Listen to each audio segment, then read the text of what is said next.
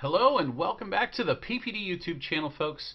Clyde Lindsay here from Pixel Pro Displays. It's great to have you back again. We hope you've had a fantastic weekend. We look forward to another exciting weekend. This weekend, I'll be at the Michigan Mini, and last weekend we were at the Ohio Light Up Ohio Mini, and the week before that we were at oh my goodness, I've lost track where we've oh the Florida Mega Mini, and then before that, well, we were out in St. Louis. And then after that, God knows where we're going to go. But we've been everywhere that we can be. And it has been an exciting month here at Pixel Pro Displays. It's May now. We just rolled into May. This is May 2nd. And there are new, if you're in the club, there's new uh, sequences in the club. If you haven't uh, gone over to check out our new songs, go ahead and head over to uh, pixelprodisplays.com and check out the new songs. But today's lesson is going to be something I haven't exactly dialed in on on and shown anybody. It's going to be more of specific things that I do while I'm sequencing and how you can do it too to help you speed up your sequencing processes. Stay tuned and we're going to get started. Oh,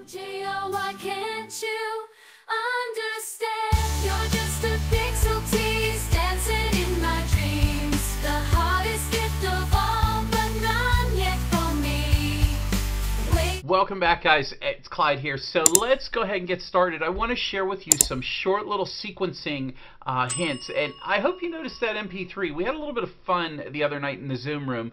Um, and JR created a contest. We wrote a song using AI, and uh, the whole group got together, came up with some fantastic lyrics, and AI spit out this amazing MP3. Uh, and if you go to this link in our PPU Facebook group, I'll put the link in the video description if you want to uh, join in. You can win if you uh, if you create a music video based on the MP3. Uh, you can win two Phoenix Ray 300 watt moving headlights. So uh, I'll link that in the video description. So there's another contest, and we're all, there's always something going on in the PPU Facebook group. So, but uh, by all means, uh, you can uh, join in the fun. Um, now, I want to share with you two things that I do uh, in sequencing that is very consistent, meaning I, I do this in pretty much every sequence, and I need what I like to call shortcut keys for. Um, I did a couple, well, but might have been a year, maybe two years ago. I streamed a video in uh, on our Tuesday night Zoom room, and it's on key bindings. They're right over there. Uh, if you look at the key binding video, it tells you all about them. You can you can watch that video very specifically, go through it in great detail. But what I want to share with you is what I learned whenever I did that video was how helpful and how easy it was to now quickly add in and out fade out transition. It's a state of, a, of an effect that you can apply to any effect you have selected regardless if they're the same effects or not. So you could have three or four different effects and you can apply the same setting to those effects uh, if there's something like let's say the the buffer or uh, whatever whatever the you know, in my case I used it for transitions so let me show you how that works if we go in and we hit file and we go into the key bindings menu and we scroll down here, uh, there is a section here that I created that says apply settings right here. So that so that apply settings there is very helpful in if I want to apply in a setting. So I can click add apply setting and what I had to do was I had to assign this some sort of shortcut key that made sense to for me to constantly use or to use pretty often. And in my instance, it came out to be uh, use the number key, so number one through eight, and I have the control key with a Y. I put a yes. I want to use control plus the number one, control plus the number two, control control plus the number three, and then I had to learn what xLights coded in an effect to add in to the apply settings. So basically I clicked add apply settings the, and then I said, what key am I going to use? And I said key number one. So I would go here and I would find the key and do the drop down. And I selected the number one.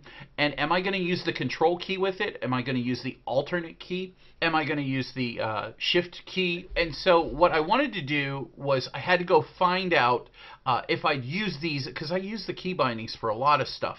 Did I use something? And these were things I hadn't used yet. So I used the numbers and they were phenomenal. They work really, really, really well. Uh, but really, really simply, I, I like to use fade in and fade out, and I learned how to get the code, and here's how I got the code. Uh, let's go ahead and close this, and I'll, I'll just put the effect down. Uh, so there's no transitions in or out on here. Uh, if we put the, let's say the Y, the butterfly effect, uh, that's a shortcut key I just placed down. Doesn't matter where you put it. All right, so let's say I was going to uh, have, let's say, a point one in transition. I could hit the point and I could hit the number one on the keyboard, and you can see that uh, I, I, have a, a point one added to that selected uh, butterfly. We zoom in, you can see that little itty bitty green line there. I'm zooming even more.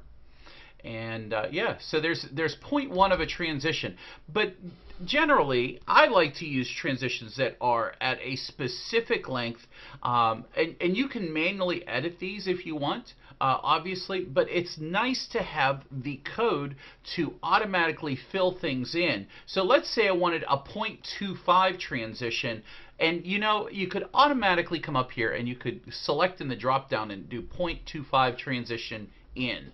Uh, and then obviously it says fade, and it's fade because that's the default. But um, but what I want to do, let's say instead of it being 25, I want to quickly change it from 25 to 50. I've loaded this key in here so that I can hit Control and I can hit the number 6 key, and that's my shortcut settings key to 0.5 of a transition. Now, I, I actually go into this into the other video, like this has really changed my sequencing. This has really sped me up a lot. It's really, eh, you know, made it easier for me to quickly go in and change, let's say, a number of effects here. Uh, there's a bunch of effects here. Um, or maybe I have a bunch of random effects. They don't have to be the, the same. They can all be different effects.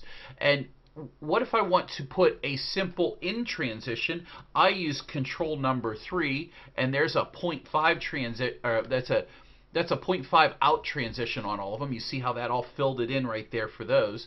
Oh, let me scroll over there. You can see there's look at all those out transitions. Now, if I want to give them all like a point, a point or a 1.0 transition in, a one second in transition, you can click on these, and if you click on them uh, individually, you can see, look, oh, there's a transition of in. Oh, it says 0.75. Well, I could do these ones all at point uh, at 1.0, so one second fade in. So you can see that very quickly how useful this can be in all of your sequencing, especially uh, if, if you're trying to do a bulk edit, you can also still bulk edit because we didn't get these ones down here at the bottom. You can still right click over the drop down and bulk edit. But it's also a nice function to be able to use that shortcut uh, key to quickly put those transitions in there. Now the now here's the thing: you need to learn what is the actual text that you need that's inside there. And if we take this, let's say the candle effect here, I'm going to go ahead and copy this. If we have an in transition, and we see that there's an in and an out there, what we can do is we can open up a notepad and you can come in here and paste the effect. And what you need to look for now is you need to look for something to do with transition. And here is fade in. See how that says fade in? And it says T, comma T underscore text control underscore fade in and then it says 1.0 comma. This is the data that the key bindings needs in order to create the the setting, the effect setting and it will automatically apply it using that key binding. So what if, and I'll go ahead and mess with mine because I don't care. I'm going to go ahead and select this and copy this. And what if we come in here, we go back into our key binding, and we say, we scroll down to the one I've already created. But if you were going to create a new one, you'd hit apply settings or you'd hit add apply settings rather, and you could hit control, oops, uh, control key or alternate or shift or uh, uh, maybe you could do shift and uh, shift control. We'll try shift control. How about that? Shift control will do the number one key. And now we'll come down here to the effects setting and we'll hit control V. And we're going to change this so that we see that it's a change. Hopefully this works. I haven't tested it. We're doing kind of live-ish. Um, and we'll hit 4 four seconds fade in. There's no transition in anywhere that I have preset that's four seconds in. And now if I go ahead and click save, That should add that to this bottom line. See here how it says Control and Shift. Uh, oh wait, it does. It says alternate. Let me change that. Let me let me do that. There we go. So there, that fixed it. Control and Shift because I can hold those two keys at the same time, and we use the number one. Maybe that will work. Well, we'll try it, right? And let's go in and click Save and Close. And I'll go up here. I'll just place the Y for butterfly effect, and we do Shift Control and the number. Oh, I have to be selected on it first. Shift Control and then number one and there you can see that it's like super easy to go in and program. Now if you wanted to have the, the custom fade out, you'd have to create another transition uh, or another effect setting and the the text that you would need need is this here. Well, now that we kind of know this, we can go through and we can make a shortcut key for a significant number of these uh, different situations that you might want to use them for. So the other situation that I find immensely helpful because I sequence in a lot of groups. Another one that I find super helpful, and I'm gonna I'm gonna take this, I'm gonna collect, uh, I'm gonna delete this. Another one I find super useful is the render styles. I use render styles pretty much in every grouping that I could, you could possibly imagine. And you can see here that if we're in a group, and let, let me get rid of the transition so it's just a little bit simpler, right? So here's the effect. No, no, no changes. There's no setting changes. It's default. In fact, let's just use the on effect. The, there might be less code there to read. Uh, and we go over here to render style. And one of the render styles I like to do, that you might like to do, is per model default. Uh, what if we do a per model default on here? And uh, actually, let's do single strand, A for arch. There we go. And uh, there's lots of colors there selected and it, this is just the basic uh, uh, per model default. Let's do chase. There we go. And you can see how it's going straight across the whole house there. And we change this to per model default. And we'll make it nice and big. There we go. So there you got your your single strand chase going off of that, and we have we have two colors selected. It doesn't matter about the colors. What I'm interested in is per model default. Let's go ahead, right click, copy the effect. Let's go to Notepad, and we open this up and we paste it in Notepad. Now we're looking for the words per model default so just right here at the beginning, see this says B underscore choice buffer style equal per model default looks like it's right at the beginning here. So if we hit Control C and we go to we go back into our um, back into our file and we go into key bindings uh, and we do add apply effects settings and let's say we would like to do uh, uh, a key let's say key number uh, two number two and then we do control and shift and we apply our effect settings, Control V. That's this choice buffer style. That's this right here. That's this code right here. That everything between the comma and the beginning. And we'll go ahead and click Save a couple times, and we'll hit the Close button. So now, now if we have, let's say, a butterfly effect, we'll put butterfly on the windows. You can see it there. Let me delete all this stuff so you can actually see the effects working. So there is, there's the butterfly on the on the on the all house there.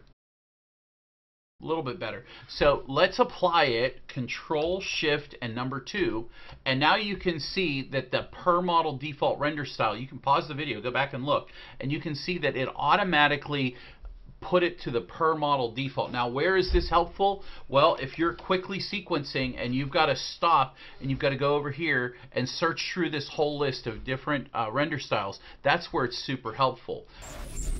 So guys, this week it's all about getting a little bit more organized with sequencing and not only that, it's it's paying attention to what you're doing and how you can use some of the little things that are built into xLights to kind of simplify what you're doing and to get effects settings set up real quickly and simply using those key bindings. Go back and watch the PPD webinar on it. You can set up all of those key bindings, all the shortcut keys.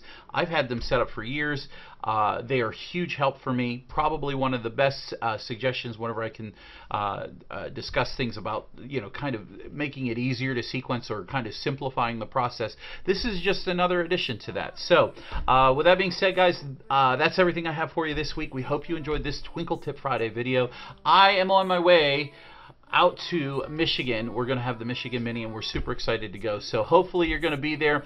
Uh, if you like the video this week, please give us a huge thumbs up. Don't forget to subscribe to the uh, YouTube channel here at Pixel Pro Display. You never miss a video. We put out a ton of videos yesterday or two days ago. Man, like we had, oh, it must have been must have been six or seven videos. So uh, don't forget to hit the bell for notifications. Tons of stuff always coming. And if you appreciate the things we do here at Pixel Pro Displays, consider joining the PPD Sequence Club where you get one awesome sequence each and every month just for PPD Sequence Club members. We do two. We did two this past month. You're welcome to go check them out. They're on the PPD uh, Triple Play page. You get three choices each month. Uh, two, of course, were new. And um, as always, if you love these cool shirts just like this, you can get them for yourself from a pixelprodisplays.com website. Just click on the store and look for our gear, or just type in the search bar and look for t-shirts. They'll come right up. Guys, thank you for joining me. This is Clyde signing out. Have a wonderful weekend, and we'll see you in the next video. Take care and bye for now.